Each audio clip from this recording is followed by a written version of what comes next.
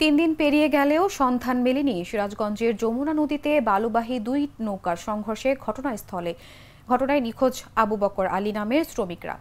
শনিবার দুপুর বারোটা পর্যন্ত তার কোনো সন্ধান পাওয়া যায়নি বলে জানা গেছে। বৃহস্পতিবার দুপুরে জেলার চৌহালি উপজেলার যমুনা নদীর জোতপাড়া এলাকায় এ ঘটনা ঘটে। আবু বকর কুষ্টিয়ার খোকসা উপজেলার কোমরভোগ গ্রামের মৃত কাসেদ আলীর ছেলে। এর আগে বৃহস্পতিবার যমুনা নদীর জোতপাড়ায় বালুবাহী দুটি নৌকার মুখোমুখি সংঘর্ষ হয়।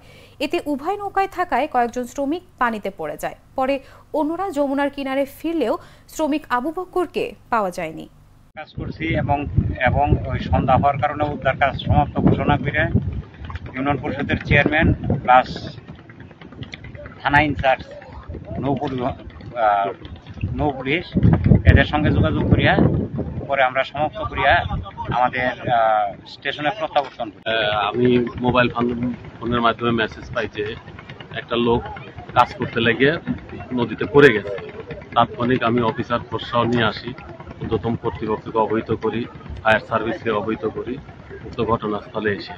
এসার পর দেখি তার ছেলের কাছে জিজ্ঞেস করি যে হালের বাড়িতে পড়ে যায়, নিখোঁজ হয়েছে, আমরা উদ্ধার কাজ কালকের থেকে শুরু করছি এখন পর্যন্ত উদ্ধার কাজ, অভিযান অব্যাহত আছে, ফায়ার সার্ভিস দুপুরি দল আমাদের সহযোগিতা করছে, আমরা নৌ পুলিশ দুপুরি দলকে সহযোগিতা করছি এবং আমরা আছি লাশ এখন পর্যন্ত উদ্ধার করতে